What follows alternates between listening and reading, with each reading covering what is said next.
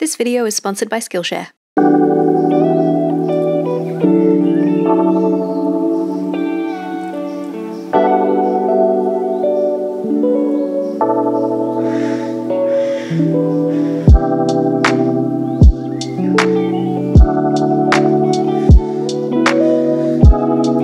Grab your journal and all your supplies, it's time to get set up for July. Hi, it's Erin, and yes, I've joined the ranks of those obsessed with Ferris wheel press inks. I'm getting right outside of my pastel tones comfort zone today with something a little bit more light academia. This is my first monthly setup in my new notebook from Kuma Stationery and Crafts, which I'm so excited about. And it was also the first live stream that I sketched out and mood boarded with my channel members, which was also so much fun. They actually helped me pick the quote for this quote page, which is a quote from Coco Chanel. You'll see it come together on the left side as we go through, but I'm going to be sticking all of the words for this over the top of another piece of paper. So rather than put the lettering directly on the page, I'm using one of these scrap envelopes that I just have heaps of kicking around, lettering onto that in instead, and then I'm going to cut out around the lettering and use them kind of like stickers. This is a really great system if you have trouble getting your lettering in the center of the page. You can just letter on a piece of whatever, cut out around it, and then stick it in the middle of the page, and you'll never go wrong. I'm using a very small round brush for all of my lettering and also some line work in this setup, along with the Workshop Wishes ink from Ferris Wheel Press that you saw earlier. I'm also going to use it with some stamps, and I have a marker from the Pentel brush sign range that is also very similar in colour, so I'll use that sometimes too, just when I get a bit lazy. As always, there are links to everything I'm using in the description if it can be linked to, so if you would like to get your hands on anything, please feel free to have a scroll down there and don't forget to check out my discount codes as well because I might even be able to save you a little bit of money.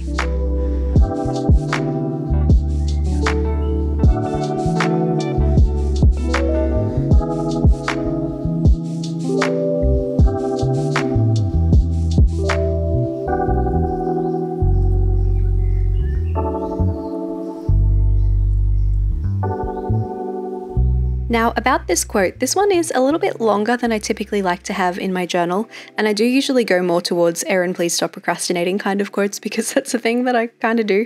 But I've gone with this one, it was a suggestion from one of my lovely channel members, and it's such a good match for this theme. The quote is I consider lace to be one of the prettiest imitations ever made of the fantasy of nature, from Coco Chanel. And just in case you're wondering why I'm getting this variation in the shade of the letters as I stamp, it's because I haven't cleaned my stamps in a while. Don't be like me, clean your stamps. But I actually kind of like how it came out, so that's always nice, a happy accident.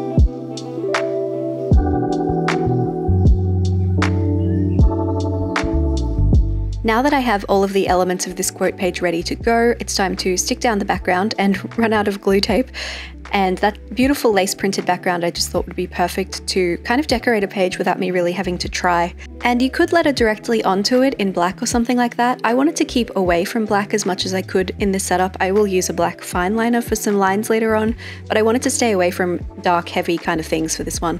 I wanted it to feel very light and pretty while still being in that kind of neutral color family. Brown and beige is really not my wheelhouse, but I had a lot of brown and beige stationery that I'd accumulated, and I was like, this is your opportunity to challenge yourself, Erin, and try and make something very pretty out of it. And I think I did pretty well. We're moving on to the cover page on the right side now, and if you haven't tried your calligraphy inks with stamps, this is your sign to do it. It works great.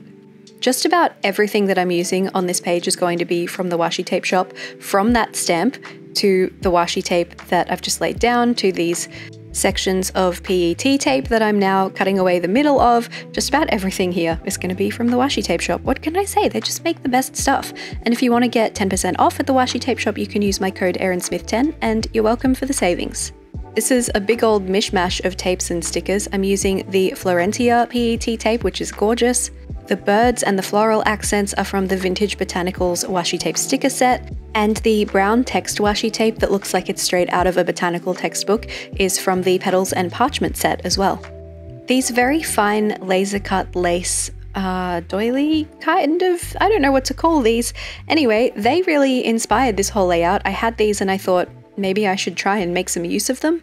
I found them a little bit tricky to work out how to stick them into my journal. I've ended up going with a paintbrush and some PVA glue, but I think if you had a glue pen, which I currently don't own a glue pen, but I really want one, that'd probably be a better way to do this. I've been so grateful to my bullet journal lately because of how it helps me balance my work, my personal life, and this very YouTube channel, which has become a pretty amazing little side hustle for me, which brings me to the sponsor of today's video, Skillshare. Skillshare is not just for artistic and creative pursuits. You can also use Skillshare to level up your career, learn how to freelance effectively, or like me, learn how to start a side hustle of your own. Most people who start a side hustle do so alongside regular employment. I'm self employed, so if I'm not careful, I can end up with no structure in my day, in my week, in my month, like all year. My journal helps a lot to keep things organized, but I know I could do better, so I've jumped into Skillshare's curated list of classes on productivity, and this one here jumped out at me. It's called Productivity for Creators Systems, Organization, and Workflow with teacher Ali Abdaal. I think anyone who works as a doctor and also runs a wildly successful YouTube channel on the side has proven themselves to be all over the productivity game. This class has sections on staying consistent, not running out of ideas, dealing with failure, and a very interesting part about the power of productive procrastination, which blew my mind. I have this whole Milanote system now that's full of ideas, it's got my video schedule on it, and I have task lists for each one, so I'm always on top of things. The first 1,000 people to use my link in the description can explore the entire Skillshare library for free for one month, whether you want to learn a new skill, pick up a new hobby, or completely redefine what work means to you. Huge thanks to Skillshare for helping me learn how to navigate this new dual career life I'm leading, and also for sponsoring this video. Onward to the calendar spread, and something that we've been discussing in the channel members Discord recently is using colours for the boxes and the kind of functional parts of your layout. And I thought, yeah, I'm going to use colors. And so I grabbed my brush sign pen and completely trashed my calendar spread. It kind of bled under the ruler, and I was trying not to damage the brush tip of the pen, so I wasn't going against the ruler very firmly, and so I was slipping a lot, and it just wasn't going well. But lucky for me, I have this Rhodia dot grid pack of paper that I use for other stuff in my life. So I've ripped a page out of that and I'm borrowing it rather than taking a page out of my journal because this is 80 GSM, so it's nice and thin. It's still going to cover the lines enough that they're not obvious anymore without bulking up the page too much. It is a very slightly different white to the white of the journal pages. That's not really going to bother me. I'm just happy that I could kind of fix this sort of ugly calendar that I was ending up with here. I do absolutely love this Rhodia pad though. I use it a lot for my photography work where I write shot lists on it and stuff like that. It's kind of funny how once you go dot grid, you can really struggle to go back to lined notebooks. I wanted this calendar to have lots of negative space around it and to look kind of dainty and fine. So I made the boxes kind of small. They are three spaces tall by four spaces wide, and I ended up using a Pigma Micron 03 instead of a coloured marker. And now we decorate.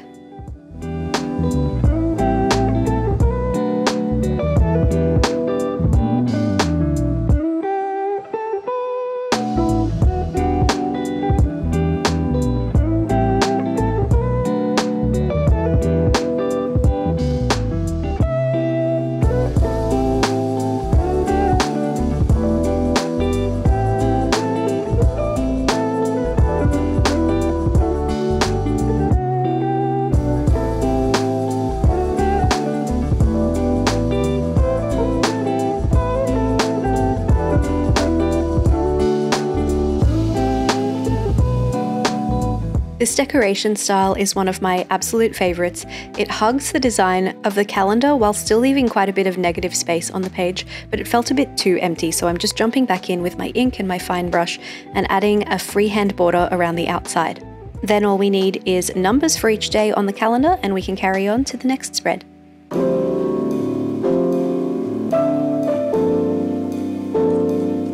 I felt like we needed a bird represented on the right side, so I've just added one here. And then we're going to turn over, and this is going to be my one line a day page, which I've been doing in the form of kind of a, an extended project poem over the month. It's not ending up very pretty at the end of the month, but it is representative, much more of how I'm feeling day to day than how I'm actually what I'm doing, you know? I'm keeping the decoration quite small and just to the top and bottom of the page because I need space to put 31 lines of poetry here, so I needed to make sure there was a lot of room for that in the middle. And I'm adding some of these beautiful stamps from Notebook Therapy. This is the Vintage Rose set. This cloche and rose combo is one of my favorites ever.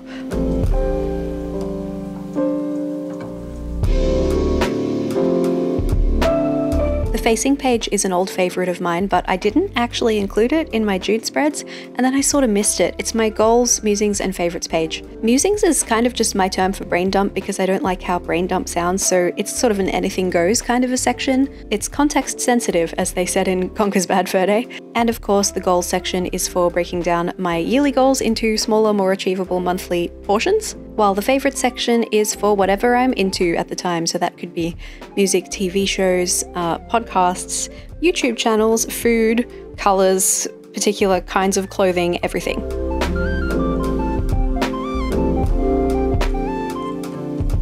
While I'm jumping backwards and forwards between these two pages, I just wanted to ask if you're enjoying the video, would you mind hitting that like button down below? And if you haven't been here before and you're having a good time, maybe consider hitting subscribe. I do also have channel memberships with two different tiers if you'd like to support me a little bit further. There's some more information on those if you hit the join button that's beside my channel name down below. I also like to do two live streams every month where we set up the rest of my weekly spreads for my journal. So we'll do the first one together in this video, and then the others we'll set up on a live stream and we get to hang out in real time and we can journal together, and it's really fun. But if you're not subscribed or following me on Instagram, you might not hear about them. So just wanted to let you know about that so that we can remedy that situation if that's something you might be into.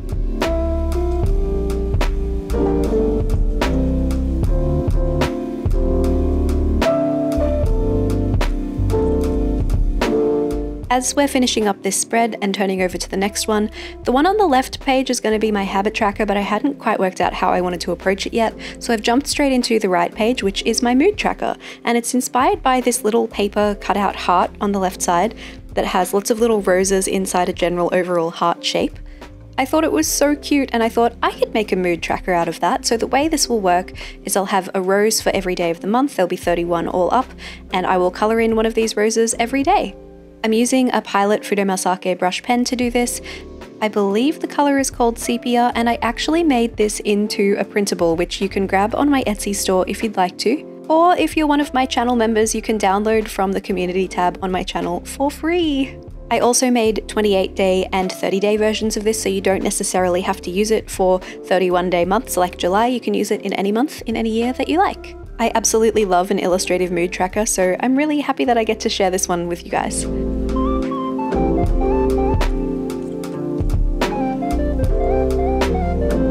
Please excuse the sudden lighting change. I had to switch on some lights because it was getting very dark in my office and I only had one day to set this up. Usually for a plan with me, I'll take my time over a few days, but I couldn't in this instance, unfortunately. We're tackling this habit tracker and I've ended up drawing out my calendars on the spare paper from where I fixed the calendar spread earlier.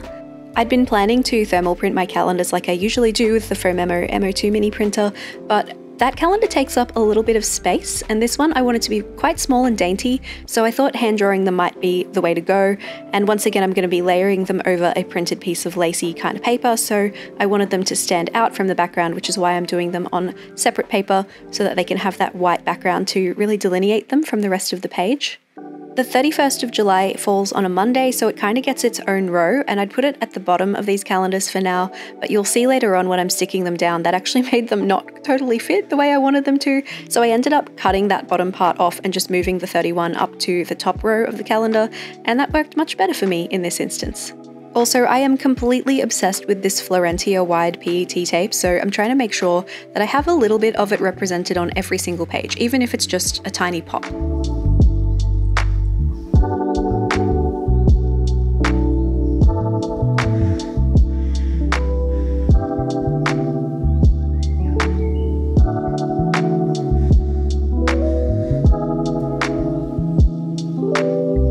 I realized at this point when I cut out those habit tracker calendars that I didn't actually leave myself any space to put the name of each habit above them, which was kind of a bit of a rookie error. So I'm just adding those separately again on the same paper. I lettered them with the brush sign pen and I'm leaving one extra at the bottom because I am setting this up quite early in June and I don't know necessarily exactly if I'm going to need all of these habits, so I'm leaving myself one extra so I can be flexible about that when the time actually comes to use it.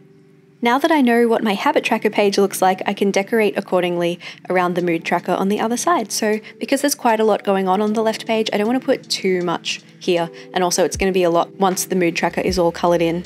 But I always still want decoration, so we're just going to take it easy a little bit here on this one.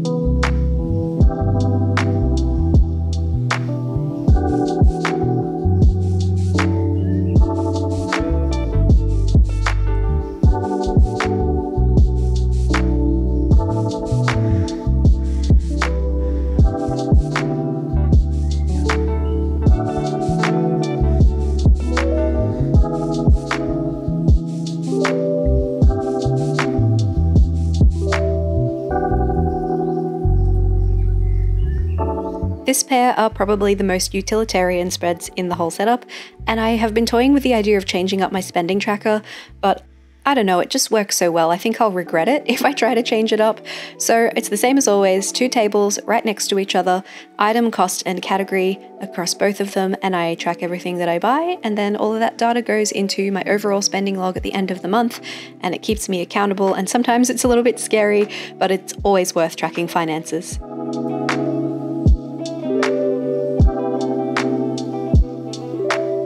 This wide PET tape, it's right there in the name, it's wide, so when it doesn't quite fit the areas I want to decorate, I tend to just cut it down and use bits of it, and that works really well.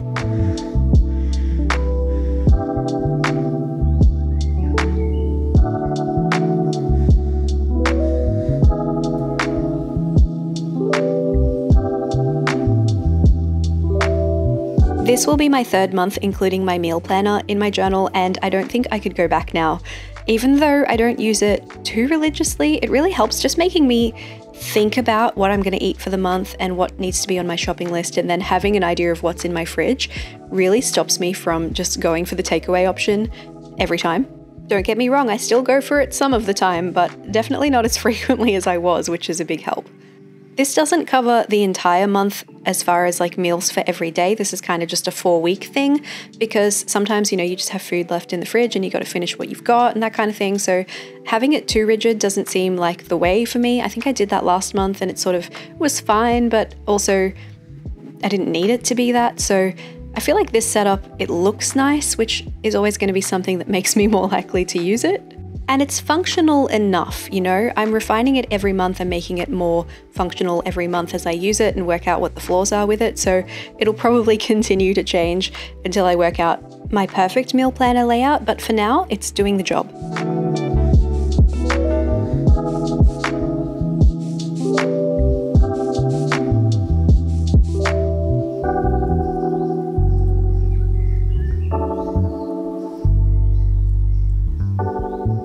Hear what you're thinking. Erin, you already set up a monthly calendar. Why are you doing a second one? Well, this one is for a specific purpose. This is my content planner. I am a stickler for scheduling out as much of my social media content as I can in advance, which really helps with the whole productivity thing we were talking about earlier. So, as I do that, I like to record what I'm scheduling on this calendar so that I can see it at a glance, and it keeps me from doing things like posting two of the same part of my journal, like as a reel and as photos right next to each other, so that my grid looks nice. It helps me stay on track of where my YouTube videos are and if there's a sponsorship, what the requirements are for that, what I need to do. I also run an Instagram account and a blog for my business, for my photography stuff, which I've kind of been neglecting lately. So I'm hoping that this month that I can get back on top of that, hopefully. Anyway, this calendar is where all of that magic happens, and without it, I would be a little lost, I'm pretty sure.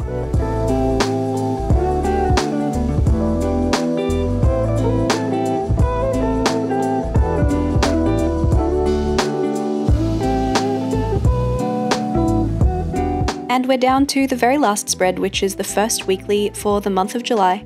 I set one up very similar to this in April in one of the live streams, and I loved it, and I loved how it looked when it was all filled in, and I really enjoyed using it, so I thought we'd just return to that and do it again.